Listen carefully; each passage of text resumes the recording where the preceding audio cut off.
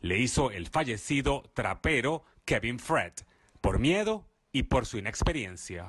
Son cosas de mi pasado que, jamás y nunca pues estoy de acuerdo con lo que hice, eh, necesidades, situaciones, eh, inmadurez y, pues ahora estoy pagando consecuencias del pasado y, llevo más de un año, un año y medio literalmente pues esperando este bombardeio.